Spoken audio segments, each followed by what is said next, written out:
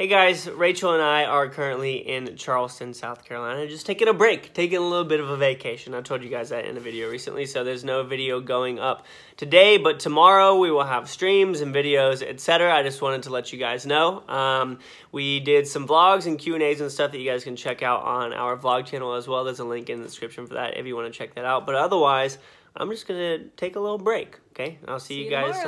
tomorrow.